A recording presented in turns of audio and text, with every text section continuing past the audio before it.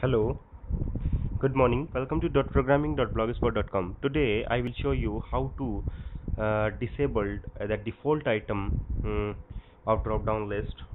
Um, uh, we all know about the uh, default item that is select uh, item, uh, select, please select. These are the types of the text in drop-down list. This is the default item. Okay, in this video tutorial. I will show you how to disable it.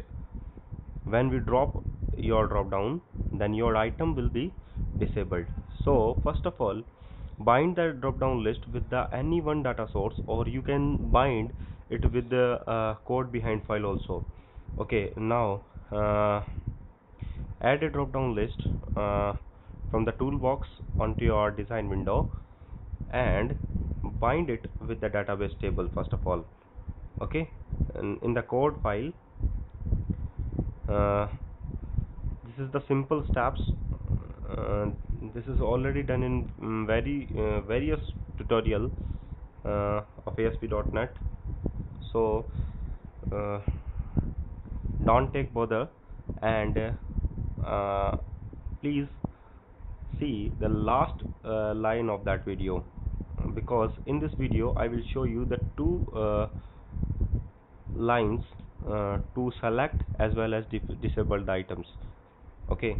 So these all our steps are uh, considered previously uh, like the SQL connections uh, to creating the connection with the database table and um, the SQL command uh, communicating with the database table. Uh, data reader is used for the reading the data from the from the table and the data sets to load multiple database tables uh, data tables also. So uh, these are the different types of uh, classes uh, we already used in various tutorials. So uh, by using uh, these classes we can do the connections with the database table and retrieving the data from the database table and bind uh, those data with the any any one control. So here uh, I will bind the data uh, with the drop down list. So SQL command SQL connections and the data reader also. Okay. Uh, the what is the logic behind the uh, disabled item is actually attribute is uh, used to disabled item because Mm. I want to add uh, the item at index 0 first of all because the default item is actually uh, uh, have in drop down list at index 0 so first of all add item at index number 0 by using the insert method. Okay. Now use drop down list 1 dot items dot insert. Insert it means what index you can use uh, so mention in the index number as well as the string uh, types of text. Okay. Uh, in this video uh, I will show you uh, later uh, sessions that you can show in your video. And after that we can disable it. When we drop it then you can disable it. Because but how? So what is the logic? That is the logic is items of at position 0 dot attributes. That attributes contain the disabled and the value also contain the disabled. Okay? So first of all select and after that disabled. So in this video tutorials I will show the two method. That's when uh, when uh, your drop down is drop up then item is disabled but when not drop up then item is selected.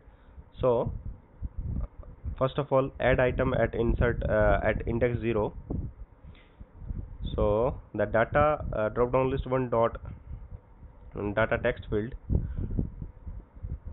data text field is and the drop down list one dot uh, data value field okay. Uh, here we have a employee table. So the data text field is represent to name and the data value field is represent to id so okay. Now at index 0 add a text that is default text at index 0 so in the insert method we have two parameters that is in integer index and list item items. Also that select is a item at index 0 after that we can use the select attributes items of 0 at positions dot selected is true. Okay that is selected. Oops getting error because uh, the selected property is uh, written or you can say get and set the true as well as false value the what is the attribute in disabled? Also we can have the value of uh, disabled attributes is also disabled. Cannot implicit can convert a string to bool. So here we have a true value true and the square bracket is actually used in VB but here we have a C sharp so use square brackets so that's fine. Now save it and run it.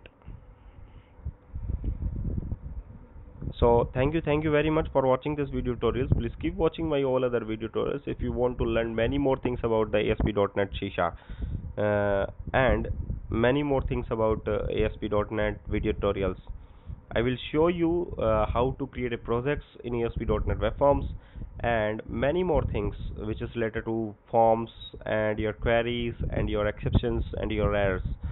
Uh, I promise you uh, you learn very well uh, by using this uh, channel.